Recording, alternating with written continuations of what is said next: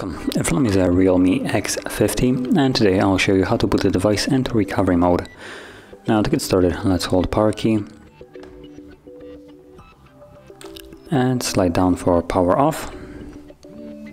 Now once the device shuts off, you want to hold power key and volume down. So power, volume down, both of them at the same time.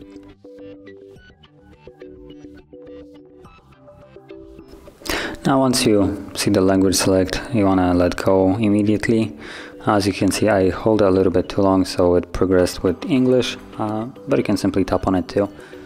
And after, well, we can go back also, right here, so you can see we have different languages. And after you choose your language, you will then have access to all the recovery mode options. So from here we can install updates from either uh, the storage or do an online update, wipe data, reboot device and power off. Now under the wipe data you will have I believe two options. Let me just Oh, I need to put in the uh, passcode so that's what it is. Okay, there we go. So on here you can see that we have two options. We can either wipe data, which doesn't really wipe data, or we can format data, which does wipe data.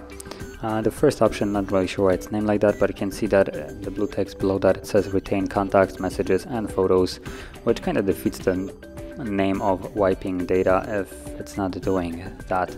So make sure that if you're trying to just remove everything, you go with the lower one. And apart from that, you don't really have much uh, much more options in here uh, apart from the well, wiping and uh, updating. And to leave this mode, all you have to do is just simply tap on either reboot or power off. Now I'm gonna go with reboot, confirm it, and this will take me back to the Android.